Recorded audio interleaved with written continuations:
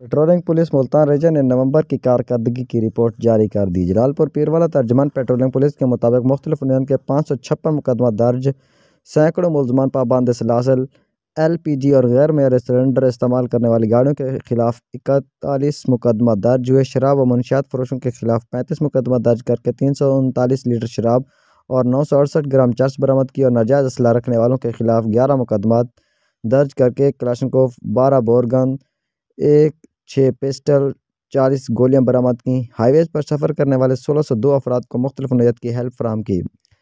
بارہ قسم کے اشتہاری ملزمان گرفتار کیے۔ تیز رفتاری اور غفلت و لاپرواہی سے ڈرائیونگ کرنے والے ڈرائیوروں کے خلاف چار سو نو مقدمہ درج کیے گئے، جبکہ آٹھ عدد گم شدہ بچوں کو تلاش کر کے والدین کے حوالے کیا گیا۔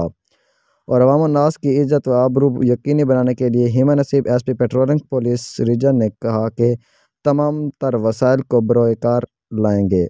شاہراہوں پر سفر کرنے والوں کو دوران سفر ہر قسم کا تحفظ فراہم کرنا پیٹرولنگ پولیس کی اولین ترجیح ہے۔